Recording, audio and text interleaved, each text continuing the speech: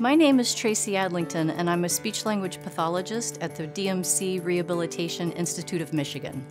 As a speech language pathologist, I work with patients who have had a stroke, brain injury, or other neurological conditions such as multiple sclerosis and Parkinson's disease.